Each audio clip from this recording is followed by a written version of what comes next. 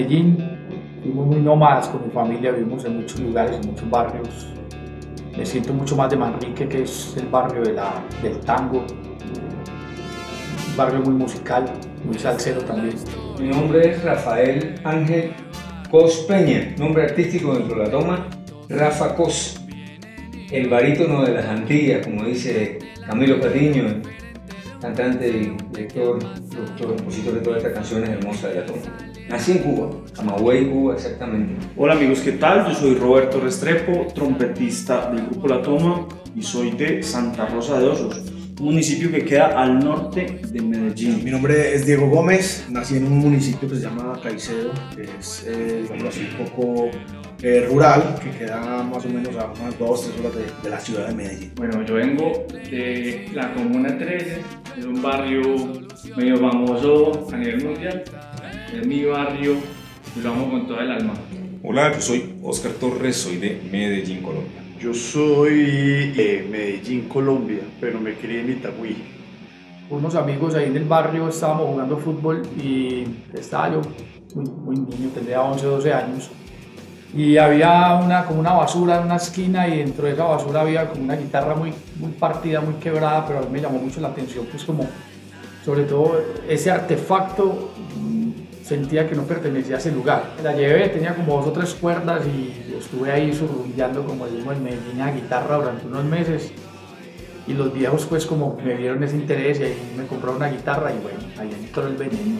Desde muy pequeño mi padre un gran profesor de música, percusionista, saxofonista también, flautista, y gran profesor de solfeo, como la escritura, la lectura de, de, la música. Y mi abuelo, mi abuelo paterno, cantautor, hermoso, fueron los que me dan a mí esta vida también, las visitas a la, Sinfónica de Camagüey. Estuve siempre rodeado de, de artistas, de músicos, y esa fue mi, o sea, como que fue una inyección para desde niño sentir que quería ser músico. Y como no, gracias a la posibilidad y a las escuelas cubanas de arte, tuve el gusto de entrar a estudiar desde muy niño a la Escuela Vocacional de Arte Luis Casa Romero en Camagüey. Cuando estaba muy pequeño, tenía aproximadamente seis años, eh, me gustaban mucho las caricaturas de la Warner, ¿sí? pero me gustaban porque esas caricaturas eh, la música es, del jazz, ¿cierto? Y es música orquestal. Entonces siempre me gustó y crecí con el jazz y con el bajo y con el... Y eh, pues al principio no sabía qué instrumento hacía, eh, hacía esa línea, pero pues fui creciendo y me fui dando cuenta y siempre crecí con ese, con ese beat ahí en la cabeza. Bueno, el trombón fue, digamos, casualidad. En mi pueblo casi que todos los compañeros que estaban enrolados en todo este tema de la música hacían por los instrumentos más populares y pues a la trompeta, la batería. El profesor de la época quiso montar una orquesta de, de cumbia, de salsa, de música tropical y dio la casualidad que ninguno de los trombonistas pues como que daba el, el, la nota, digámoslo así, pues, de alguna manera. Y yo era tubista, era tubero, o soy tubero. Y, y, en una semana me tocó aprender a tocar el trombón y bueno, ahí comenzó como la historia casi que, que, a las malas por decirlo así. La guitarra fue por allá en los mediados de los 90, cuando tenía 15 años. Simplemente llegó a, a, mi vida pues por las influencias rock and rolleras que venían pues de Estados Unidos, toda la cosa de música que nos llegaba, mejor dicho. Fue un poquito complicado al principio porque no había las oportunidades que hay hoy en día. No había internet, no a ese nivel, no a esa velocidad pues simplemente preguntándole al señor de por mi casa cómo me tocaba una guitarra, tenía un librito, me la regalaron y ahí arranqué, fue pura pasión rock and rollera, diría yo. Y empecé a tocar, un amigo mío me dijo, eh, no un primo de hecho, me dijo, no, si usted es zurdo, usted debe tocar al revés, pero para mí era exactamente lo mismo, hacer esto y hacer esto en el momento que la guitarra no tiene, es decir, el zurdo puede tocar perfectamente tocar también. Así como el diestro también puede tocar así y los conozco así de ociosos. No lo hagan, se van a embalar luego con el tiempo para, para, un instrumento. la batería fue, fue casualidad, la verdad. Yo estaba en un, jugando fútbol en el barrio y, y, alguien me dijo, es que no, se va a tocar batería, lo necesito, eh, eh, ahorita lo haces porque necesito un baterista para tocar unos coros en la iglesia. Y yo llegué, fue y me enseñaron, me enseñaron el primer ritmo en un minuto y de ahí no pude tocar batería. De ahí después comencé como a, asumir como el papel de músico, aprender mucho más y, también lo tomé como una actividad diferente que me alejaba como de otras eh, actividades del barrio que no eran bien vistas. Entonces, eh, mi, la batería es lo mejor y sobre todo que pues tenía un talento natural, entonces aproveché y llevo tocando más de 20 años batería. Es una historia muy particular. Fíjate que todos los pueblos de Colombia, o por lo menos de Antioquia, los jóvenes entre los 8 o 9 años de edad ingresaban a la banda, a la banda juvenil. Y pues cuando yo entré, el director de la banda me dijo, mira, hay dos instrumentos, trompeta u oboe. ¿Cuál te suena? Yo no sé por qué llevaron un clarín a la casa y yo era ta, ta, ta, ta, tocando con ese clarín todo el día, todo el día tocaba con eso, hasta que me dio paperas. Pero cuando llego a la banda y me muestran una trompeta, yo dije, ok, eso es de oro, eso es plata, ¿qué es ese, qué es ese material? Eso es, wow. Y me dijo, suena, toca, toca. Y inmediatamente la trompeta me sonó, pero porque además yo ya venía en mi casa jodiendo con una y ta, ta, ta, ta. Entonces me dijo, ah, esa pues, ya, quédate ahí, tú eres el trompetista de la banda. Y así aprendí a tocar trompeta. La Toma es el nombre de un barrio de Medellín, un barrio de los años 50 en donde confluían cosas muy interesantes, confluía arte, personas pensantes, baile, era una situación muy especial en Antioquia, no se veía, no había pues con mucha diferencia con las clases sociales, todo el mundo se entremezclaba muy bien, digamos que de alguna manera sentimos que representa parte del discurso del grupo, ¿cierto? Que es bailarnos el drama, es como un pequeño resumen de toda Latinoamérica. En esa época en Medellín es- se estaba moviendo mucho o estaba apareciendo con mucho poder y con mucha fuerza el reggaetón. Era como un tsunami que nos atravesó, pues sobre todo en esa, en, en esta ciudad y casi que todo, todos se volcaron, los estudios, los productores, los músicos, todos se volcaron como para ese género, como de una manera como muy abrupta, siento yo. Y yo trabajaba como productor y como músico de sesión en, un estudio muy importante de la ciudad y algunos de los chicos aparecían allá también como músicos de grabación.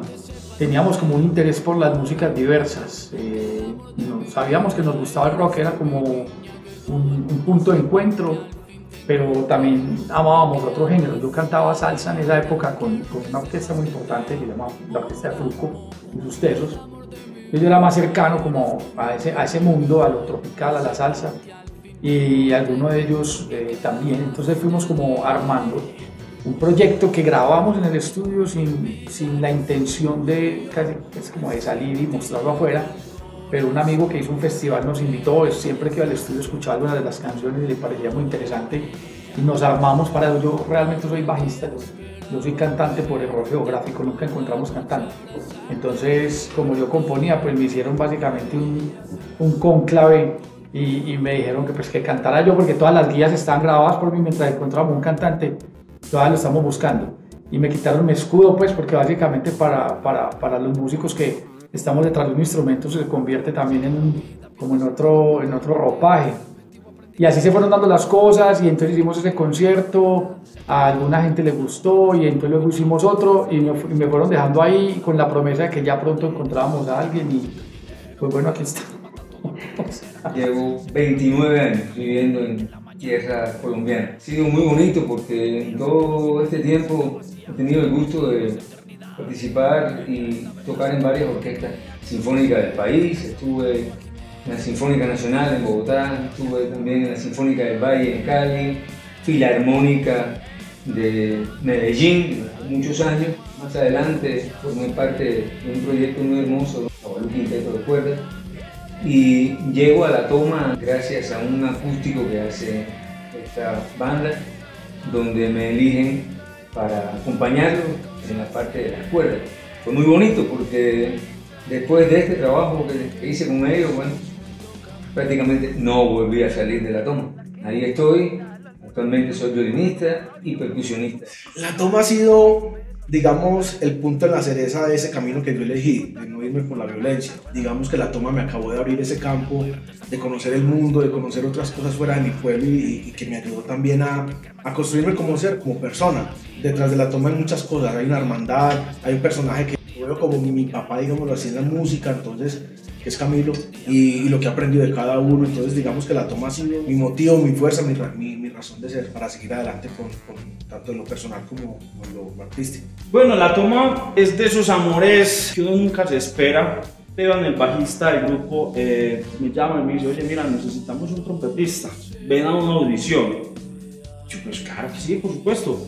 Fui a la audición y eso, de una, así nos conectamos, como, wow, ¿qué es esta música? Porque además, claro, como yo traía la información de, de, mi pueblo, y llego aquí a una ciudad que pues la ciudad obviamente es grande y tiene muchas más informaciones, pero además yo sentía que lo pequeño que yo hacía en mi pueblo aquí brillaba, era, era algo grande. Entonces fue una conexión, match, como que nos inmediatamente nos conectamos. La toma llegó a mi vida en un momento donde pues tenía varias ofertas. Yo en ese tiempo tocaba pues en, en, grupos, pero no formalmente.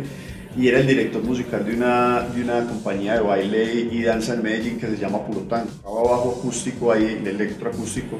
No era un proyecto donde yo me sintiera realmente como, como bajista, o sea, tenía un espacio muy limitado y la toma sí me permitió tener más espacio, o sea, no solamente como desde, desde el instrumento, sino desde, desde sentir, desde poder eh, no estar sentado pegado de una partitura, sino estar en un escenario moviéndose, saltando, o sea, viviendo un poco más la música. La toma una condensación de todo lo que yo aspiraba en una banda de rock. Puedo tocar salsa, puedo tocar boleros, eh, música urbana, reggae, en la toma hacemos todo eso. Como lo que yo siempre he buscado en, la música. Gracias a Dios porque se me abrieron las puertas acá y siento que puedo hacer de todo, de todo lo que yo escucho como músico, lo puedo tocar aquí.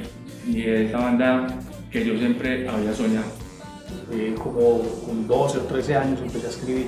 De hecho, una de las canciones más populares del grupo fue la primera canción que escribí sin saber muy bien qué significaba. Creo que más bien eh, como que iba oyendo música y, fui haciendo un Frankenstein con esa canción, como de cosas que simplemente yo sentía que sonaban bien y palabras que me parecían como muy poderosas y luego tuve que averiguar qué significaban fue como un acto no sé si esto va a salir, va a decepcionar a, muchos, pero, pero es la verdad. Yo ahora soy un fanático de la verdad. Para mí es fundamental que lo que estemos, o, al menos lo que esté escribiendo, yo esté muy convencido de ello, al menos en ese momento de mi vida. Hay muchas cosas que ahora canto que escribí hace 20 años con las que quizás no estoy tan alineado, pero eso se trata la vida, pero nos vamos moviendo, nos vamos también eh, transformando la música esa posibilidad. La composición también te da esa ventaja a los que hacemos música de, irnos contando con el tiempo, no quedarnos estáticos. A veces se me atraviesa una historia mía o de otros que siento que debería contar y quedo ahí como conspirando la historia, ni siquiera la pienso como canción. Y, y, cuando la tengo como muy clara y un poco la puedo, la puedo desenlazar en mi cabeza, pues me siento y, y, empiezo a escribir. Y cuando escribo, escribo con melodía, empiezo a escribir y sé cómo va a sonar. Entonces tengo esa, esa gran ventaja, no, no conspiro las canciones, no, no me pasa de esa manera. Llegan, simplemente llegan. Bueno, Camilo es nuestro compositor, es el productor, es, eh, digamos, la cabeza. Él muchas veces llega con una idea ya muy clara de lo que es el tema. Nosotros nos reunimos, escuchamos, eh, hay veces nos pasan pues como una línea y sobre esa línea proponemos. Y ya llegamos al estudio con Robert y con Cami, que son como los productores, y ya es ahí en el estudio como, como ve, hace esto, hace aquello, que suene agresivo, que... Hacemos un adornito ahí o pilas, no adornemos mucho porque ya los adornos están en otra parte. Entonces es como el, como el proceso de composición y de producción con, con la toma. Bueno, desde la parte personal hay una conexión que uno no sabe explicar. Cuando uno encuentra personas en el camino, se vuelven tus hermanos y otras cosas que son en común. Eh, no sé, aquí todos nos tratamos como en el mismo nivel, aquí no hay jefes, aquí no hay alguien por encima del otro, todos somos eh, igualdad de condiciones. Desde lo musical nos entendemos porque a pesar que tenemos gustos distintos, a algunos nos gusta la huasca, que es la música tradicional de Antioquia, de Colombia, una de las tantas que hay, a otros les gusta el rock, a otros les gusta más el punk, determinados géneros. Nos encontramos en un mismo punto, en, una misma filosofía y, y eso se respeta hasta ahora. Ha sido como una... El respeto siempre está por encima de cualquier cosa, el entendimiento en, en los gustos. Eso es la toma. Eso es como, eso es un matrimonio como si uno hubiera casado con siete al tiempo. Eso tiene uno sus, sus momentos, sus altibajos. También hemos tenido pues momentos en el que no nos encontramos en algunos puntos, pero sí hemos sido muy honestos. Creo que eso nos ha mantenido hasta ahora juntos y es que simple y llanamente nos decimos lo que nos tenemos que decir y seguimos avanzando. No hay esa sensación de protagonismo que pasa mucho en las bandas y todo, no solo en las bandas, en cualquier micro sociedad. Y es que a veces alguien quiere cobrar el tiro de esquina y lo cabecear y simplemente pues por su naturaleza. Nosotros no sufrimos de eso. Tenemos la ventaja de saber cada uno cuál es su potencia, cuál es su poder y lo ponemos en el bien común. Eso ha sido también muy importante, hemos querido como eh, pasar esas líneas nos hemos respetado profundamente. Eso es dado a que no somos iguales, pero creo que nos hemos encontrado cada granito de los que estamos hoy en día en un momento específico de la vida en un momento de suma importancia para la banda y para el, el sentir de cada uno. Muy bien. Lleva- Llevamos 15 años dando lidia entre nosotros mismos. Somos una familia. Sé que suena muy cliché, todo el mundo habla lo mismo, pero quienes han intentado montar un proyecto musical independiente, de música muy frontal, sabrá que esto es para cojonudos, para personas que de verdad les interesa eso. Entonces, entre tantos años, tantas cosas que han pasado, nos hemos hecho muy, muy, muy, muy cercanos. Nuestras familias son absolutamente entregadas los unos a los otros y nos la creímos desde el principio. Aquí vamos. Nosotros crecimos en un Medellín muy convulso, muy loco. Una época que en términos de, de- de violencia nos desbordó. Sin embargo, creo que había un, un asunto muy poderoso y, y voy a sonar aquí pues como un filósofo de, de vereda, pero allá aprendimos a bailarnos el drama. Creo que eso fue un concepto que nos hacía seguir con ganas, no sé, queríamos vivir a pesar de todo. Entonces, ahorita hablando con, con Avi que cuando vaya a Medellín siente que la gente es muy cercana y es que de alguna manera nosotros aprendimos a, valorar mucho el día a día, a vivir cada día lo más feliz que pudiéramos. Eso fue una, una época que digamos que estoy como abstrayendo lo que puede ser positivo, pero básicamente fue una realidad que los libros y las series y las películas se quedan, se quedan cortas, se quedan cortas con lo que allí sucedió y lo que allí vivimos. Fue muy, muy absurdo, una violencia muy absurda. Bueno, mira, la Comuna 3 es un, es barrio muy hermoso de Medellín porque sido muy golpeado por la violencia en años pasados. Y hoy en día, pues es como un símbolo de, de cambio, de progreso, de muchos jóvenes que han dejado las, las armas y han tomado, digamos, otros rumbos como el arte, el baile. Ese es mi barrio, yo, lo, quiero con toda el alma, a pesar de que fue muy golpeado por la violencia, vi muchos amigos ser asesinados, pero bueno, ahora es un símbolo de, de cambio y, y me alegra eso, que también puedo representar eso que está logrando la Comuna 13 y también lo puedo representar aquí en el grupo. Son pueblos que toda la vida fueron eh, afectados por la violencia. Yo crecí en medio de todo ese conflicto pues, armado del país, con los, grupos pues, que no quiero mencionar, pero que, que nos golpearon pues, muy, muy fuerte en la, a mediados de los 90, comienzos de los 90 hasta finales pues, de los 2000. Creo que tuve una buena educación a pesar de eso, eh, todos en el pueblo nos conocemos, entonces digamos que hay mucha solidaridad con tu vecino, entonces como son tan pequeños, digamos así que se, se siente el apoyo. Entonces, la música también tiene mucho que ver ahí. Es que lo único que tú, pues, digamos, te podías dedicar era la violencia la música. Yo escogí el lado de la música. Y, y bueno, ese es el pueblo de mis amores. Así iba en Medellín, lo tengo aquí en el corazón. Sí, sí, era bastante complejo porque pues, me tocó mi infancia en la, en la Medellín ochentera, la peligrosa. Yo en el colegio que estudiaba era el colegio de los priscos, estos manes eran los matones de Pablo Escobar. Era una cosa bien compleja, de hecho, hacer música, hacer arte, en una situación en donde todo el tiempo lo que se te ofrece es esto. Estas son las posibilidades de vida de los jóvenes en esa época y bendita, bendita la música me salvó en sentido. Costa Rica, Estados Unidos.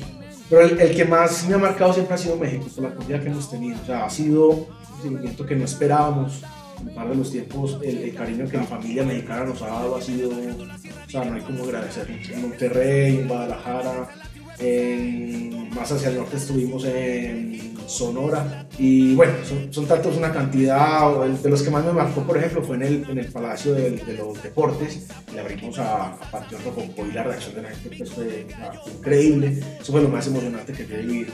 Eh, nos fue muy bien, creo yo, en el Vive Latino y en casi todos los festivales que hemos estado. A pesar de ser una banda joven que la gente no conoce, hemos estado en escenarios con grupos legendarios y la aceptación que hemos tenido ha sido demasiado, demasiado, demasiado buena. Y por qué no tenemos muchos seguidores también aquí en, en México y esperamos que, que cada día sigan siendo más y más y más. La música, el arte en general siempre ha sido algo, por lo menos en Latinoamérica, un poco cenicienta de la, de la. No nos la creemos, sentimos que no es posible, sentimos que, que no merecemos lo que hacemos, que si la música ¿cierto? Se ve tan, tan, ¿cómo se puede decir esto? Como tan, tan especial, tan divertida, tan bonita. No merece ser cobrada, no merece ser proyectada, no merecemos decir lo que sentimos, no, mere- no merecemos los escenarios. Yo creo que es momento de cambiar ese código. O sea, ya, sí, claro que se pueden hacer cosas, claro que se puede. Lo que pasa es que demanda trabajo. Es el que de pronto a veces no queremos hacer, demanda creernos, demanda levantarse y de verdad decirlo con, con la firmeza que, que merece la situación. Tomando la carrera en serio, diría yo. Hagan lo que sea, pero háganlo en serio, de corazón. Yo que me sé, ahora que lo pienso.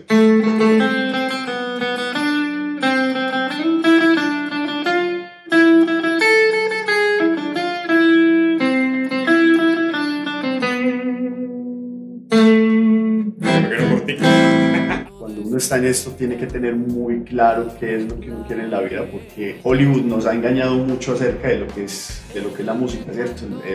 El eslogan de los 80 de sexo, eh, mujeres y, y- y drogas es totalmente falso. Detrás de esto hay compromiso, hay mucho estudio.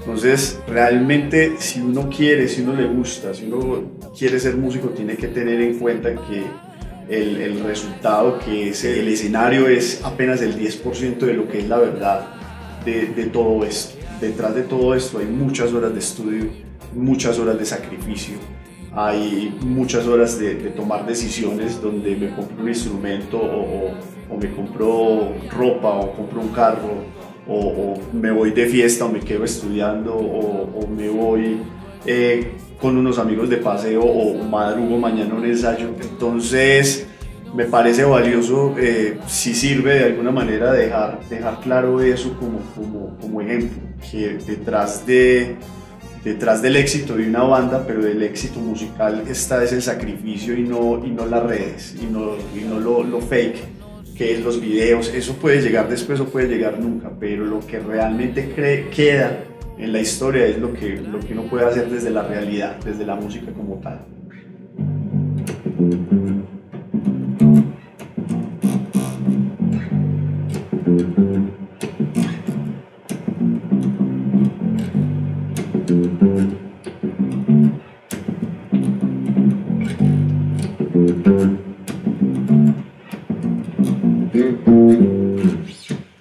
Ahí está. Poquito porque es bendito.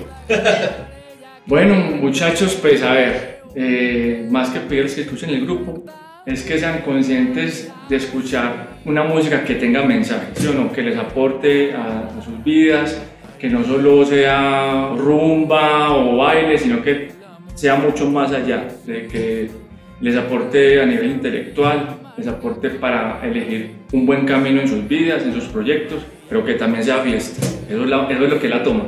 Bueno, vamos a tocar una cumbia.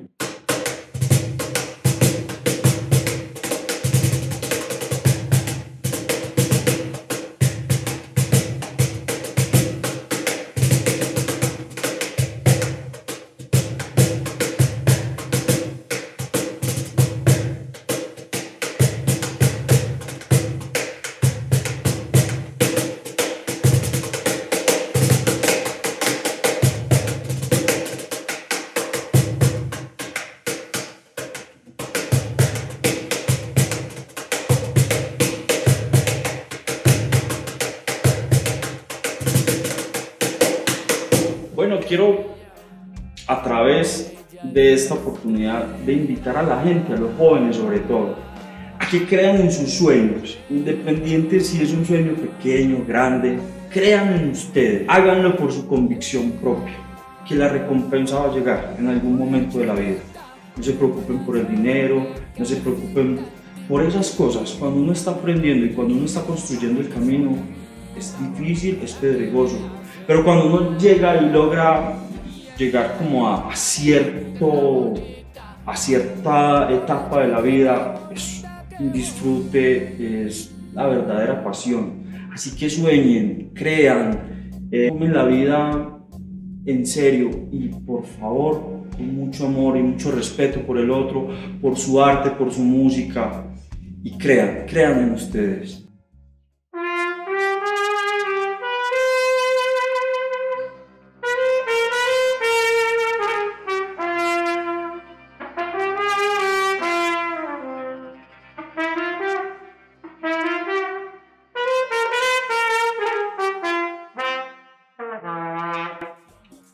Esto va a sonar a, frase de cajón, pero luchar por lo que uno quiere. Yo vengo de una zona que ha sido muy, muy, compleja desde la violencia y que los sueños parecían imposibles de, lograr. Y bueno, a pesar de, las necesidades que se pueden pasar, de, esa manera en que uno le tocó crecer, uno, uno omite eso y se fija una meta, uno, uno cree, simplemente creer en uno mismo. Y bueno, yo creo que esa es como la, como, como tiene una cosa y no sé qué, pero no importa, hay que luchar por lo que uno quiere, a muerte, o a huevo como dicen aquí en México.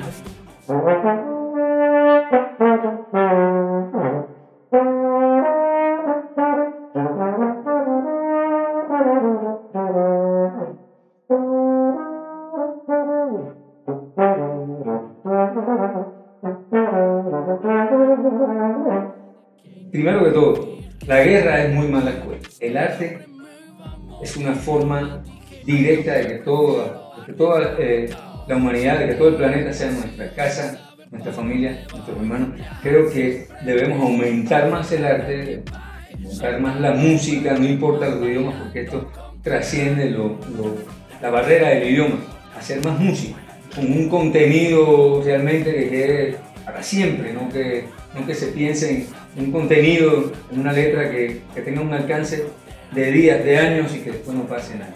Hay que ser muy cuidadoso, tener mucho, mucho compromiso con lo que se escribe.